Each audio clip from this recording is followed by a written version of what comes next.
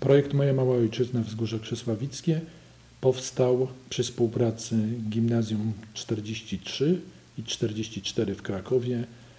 Pomysłodawcą tego projektu jestem ja i Młodzież z Domu Kultury i z tych dwóch gimnazjów pracowała nad projektem, którego celem było zebranie informacji na temat 17 dzielnicy miasta Krakowa Wzgórze Krzesławickie, wydaniem przewodnika po mojej małej ojczyźnie, którym zamieszczona jest informacja na temat pradziejów tych terenów, na temat historii osiedli, na temat ciekawych obiektów i osób, które związane są z historią. Finałowym e, etapem projektu jest wycieczka po obiektach dzielnicy 17, które zamieszczone są zarówno w przewodniku, jak i na stronie internetowej.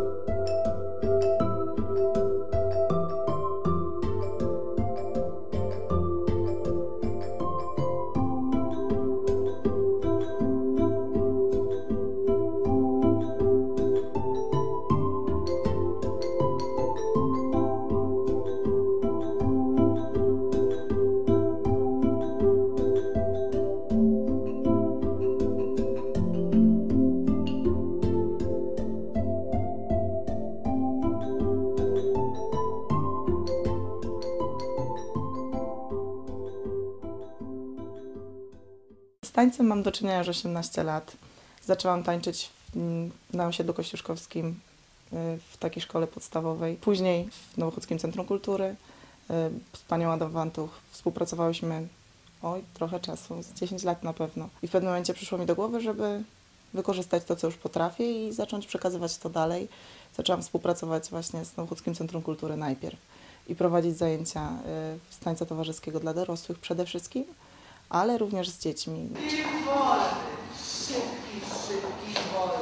Miałam wiele przypadków ludzi, którzy przychodzą do mnie i naprawdę nie rozróżniają, która jest noga prawa od lewej i męczą się na każdym weselu, na każdej imprezie, bo siedzą i patrzą i boją się wyjść. A później okazuje się, że tak naprawdę to, że do końca nie słyszą, nie rozróżniają, czy to jest czacza, czy walc angielski, niewiele to y, zmienia, bo kiedy wychodzą na parkiet i świetnie się do tej muzyki bawią. Ale ludzie z Nowej Huty mają wyczucie rytmu.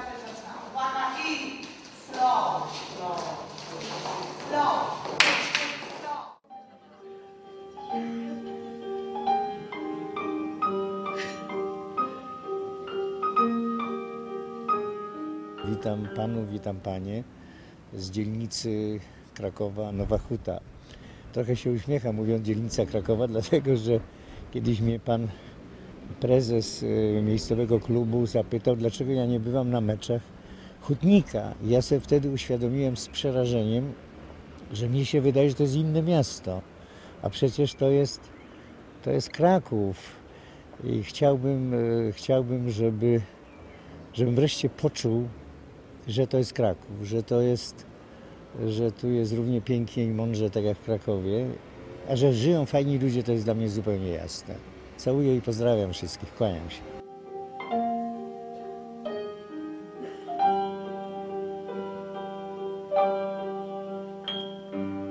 Bardzo przepraszam, że nie zdobyłem się na wypowiedzi,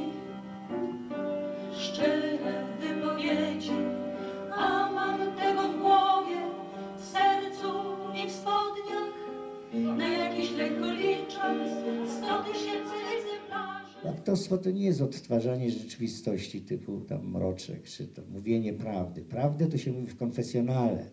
Na scenie i przed kamerą trzeba kłamać dobrze i za dobre pieniądze. Jeżeli ktoś tego nie rozumie, to nigdy nie będzie aktorem w ogóle. Człowiek, który płacze autentycznymi łzami, to nie jest artysta, tylko to jest beksa. Y, Płakać trzeba sztucznie i wywołać ewentualnie taką sytuację, gdzie płacze widownia, a nie aktor. Aktor nie jest od, od płaczu. Do mnie od momentu, kiedy zacząłem mieć bardzo poważne kłopoty z zębami mm, i zaczęły mi wypadać włosy, zaczęli do mnie mówić mistrzu. I to coraz powszechniejsze. Mówią do mnie mistrzu, na co ja już się znudzony, nie wiem co z tym robić, no to odpowiadam, słucham Małgorzato. Problem polega na tym, że coraz mniej ludzi się z tego śmieje.